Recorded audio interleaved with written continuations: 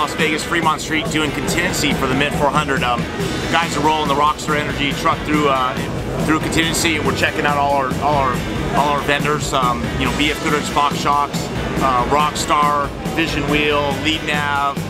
You know, everyone, KC HiLiTES, all of our all, all of our great partners are here. We're spending some time with them, visiting, and uh, just really enjoying all the spectators. You know, a lot of people. Um, you know that I that I'm born and raised here, so I'm seeing a lot of people that I grew up with and uh, saying hi to them. It's pretty cool.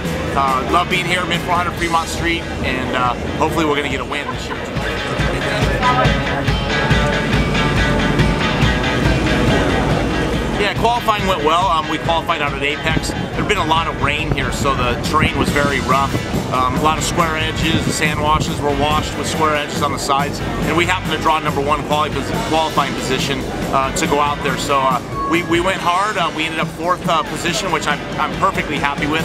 That'll be good. We'll be able to you know set the pace, uh, you know, with the people in front of me, and then be conservative the first two laps, and uh, you know hopefully be you know near the first truck, but only racing a couple guys at the end of the race, go for the win on the last lap.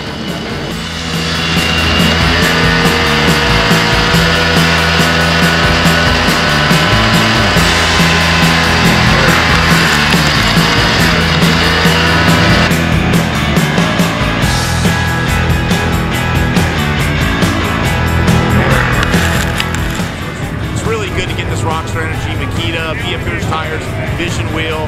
You know, we had Wayne from Fox riding with me. Um, everything was, was awesome, and it's really good to get the monkey off my back and finally get him in 400 win here in 2017. So it's been a pretty good year.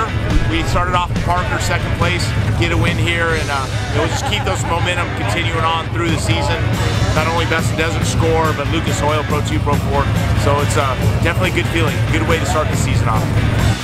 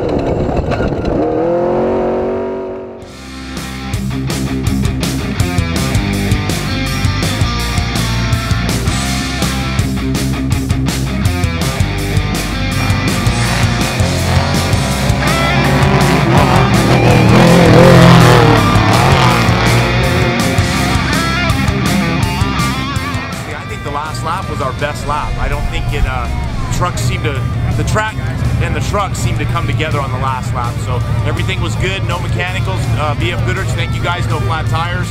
Um, Vision wheels, you know, all my sponsors, rocks for my guys. You know, these guys work so hard. The Chero, you know, he does a hell of a job prepping this truck. I got to thank him and as well as everybody else that works in that shop.